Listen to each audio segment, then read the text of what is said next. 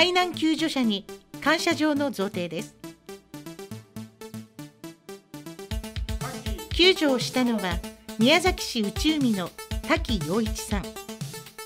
5月14日日南海岸でプレジャーボートで魚釣りをしている際にバランスを崩して海に転落した男性を漁を終えて寄港中だった滝さんが船内に引き上げて救助し男性はライフジャケットを着用していたため無事でした。迅速的確に備船に引き上げ無事救助されました、はい、ありがとうございました。感謝状を受け取った滝さんは嬉しいです。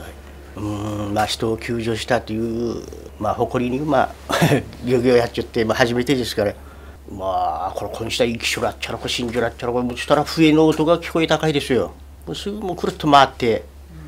手を上げたんじゃかい。それでもう無線で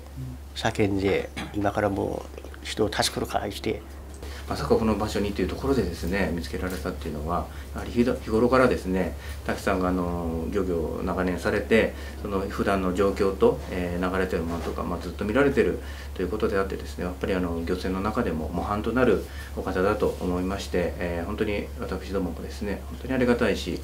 今後滝さんのような方がですね増えていただけると、えー、宮崎県の、え、安全の安心が広がっていくから。はい宮崎海上保安部によると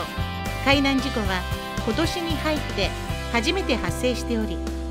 海のレジャーではライフジャケットを着用してほしいと呼びかけています。